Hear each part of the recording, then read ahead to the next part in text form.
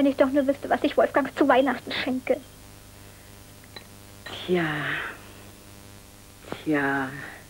Na sag mal, hast du mir nicht neulich erst erzählt, dass sein Bart immer so kratzt? Mhm. Dann schenk ihm doch einen elektrischen Trockenrasierer. So einen, äh, einen, äh, na wie heißt er doch gleich?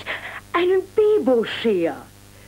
Vater ist jedenfalls sehr zufrieden damit. Ja, meine Damen, das könnte auch Ihre Weihnachtsüberraschung sein. Der Bebo-Scher vom VEB Bergmann-Borsig. Selbst Vaters starker Bart ist eine Kleinigkeit für ihn.